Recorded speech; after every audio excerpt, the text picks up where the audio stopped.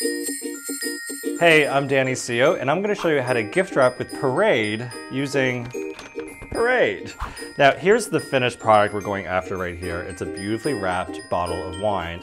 All you need is one issue of Parade, a pair of scissors, a piece of string, and scotch tape. That's it. Okay, so step number one, open your issue of Parade all the way to the middle.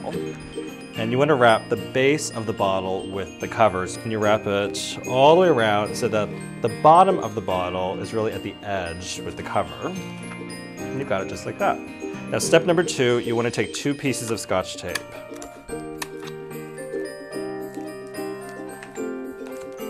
And there you have it. Step number three, you want to take your string or your ribbon and tie it around the neck of the bottle. Just make a little bow, but we can always fix that later.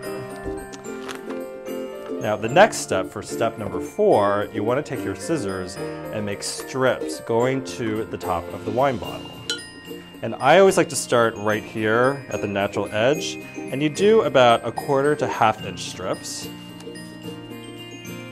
And step number five, this is the fun part. You take your scissors, and for each strip that you have, to make these beautiful fancy curls, all you do is take one blade of the scissor, and you run it just like that.